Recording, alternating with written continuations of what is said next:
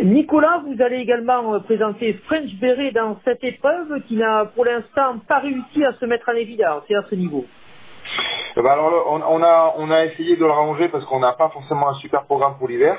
Mhm. Euh, donc euh, c'est un cheval qui est quand même mieux sur 13, euh, euh, 12, 13, 100 mètres, je pense. Il a beaucoup d'influx. Euh, il est capable de faire euh, 16, mais bon voilà, faut que tout se passe bien. Donc on le monte pour lui, donc on subit un peu les courses. Euh, L'autre jour, c'était pas si mal en retrait. Là, on se retrouve sur 1500 mètres.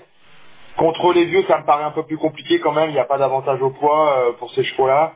Mhm. Moi, je j'en ferai plus une affaire de seconde chance, étant donné que euh, bah moi, je trouve qu'on est quand même mieux à- avec ces chevaux de 3 ans de courir contre les chevaux de 2-3 ans et non contre les, les, les 3 ans et au-dessus où il y a quand même des vieux tontons comme euh, comme et bien d'autres euh, qui sont sans doute beaucoup plus durs que lui. Oui, puis sa situation au poids qui ne s'arrange pas non plus énormément. Hein. Non, non, non, on n'est pas, euh, on n'est pas très aidé maintenant. euh, bon, bah, on, on subit, hein, c'est le jeu du chat de la souris.